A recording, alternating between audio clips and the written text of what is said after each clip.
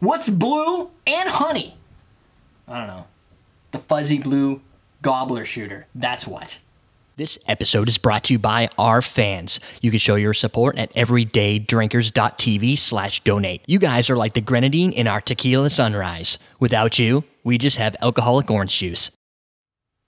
Welcome to Common Man Cocktails. I'm your host, Eric Schomer. Today we're going to create the Fuzzy Blue Gobbler. I have no idea what that means. It's probably a, rep, uh, a character representation from something that I don't know, and I will be forever ridiculed on YouTube for missaying something like I did with the Charizard or whatever it was. I still get comments. It's a Pokemon character, saying it wrong. It happens. So what I'm going to do is a let's see, question of the day later. We'll do peach schnapps. We're going to do honey whiskey. We're going to do blue curacao. It's filled with blue curacao.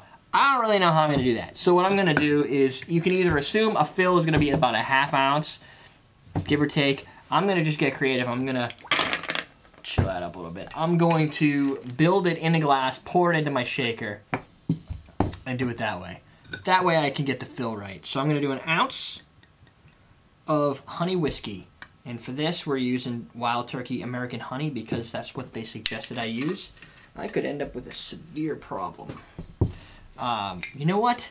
You know what's not going to work? That's not going to work because this is not going to fit into a glass. So what I'm going to do is just build it right in here. Because my glass isn't going to fit all of this no matter what. So for my fill, I'm just going to say a half ounce. I like blue curacao. There, consider it filled little peach tree schnapps, an ounce. Some people measure with shot glasses, so this is even easier. Fill halfway. All right. Peculiar smell. There you go. It's fuzzy and it's blue. We're done. No. Little ice.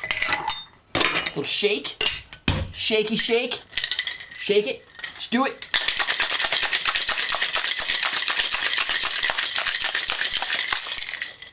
Ooh, it's the color of cool blue. One for the camera shot. If we have enough, which we should, since the ice will dilute a little bit. Looks like the Surf Rider shooter, or whatever it was called that we did once. Also looks eerily, eerily like Hpnotiq. Eerily. I don't feel like putting that back.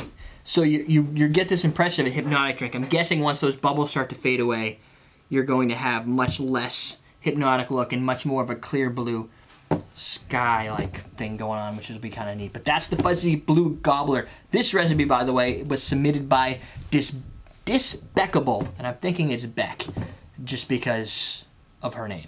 So Disbeckable sent this in, said, look, if you can't get honey whiskey, use regular old bourbon whiskey. Use whatever whiskey you can get, and that should get you to where you need to go.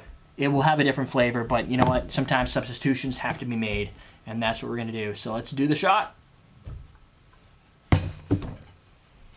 It's got honey, blue, little bit of peach, which brings in a lot of sweetness, that blue, the citrus really does play through, so a good curacao here might not be a bad idea. Very flavorful. The honey keeps coming. It's just, it. now I'm getting the oak flavor. So you get the honey, you get the oak. This is a very complex little shooter. If we're not being layered, whiskey shooters could be pretty, pretty cool. So that's the Fuzzy Blue Gobbler from Disbeckable.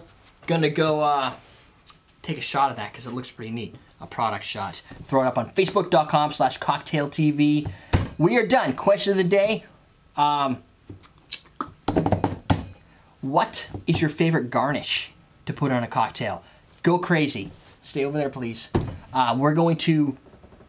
I'm thinking we're gonna we're gonna say on the show since people like me to answer um, the biggest orange I can find. The like the big one, like a whole big orange. Cut it into a, a thin slice half it on there, even on a shooter with a big orange on the side, I think that would just be really sweet.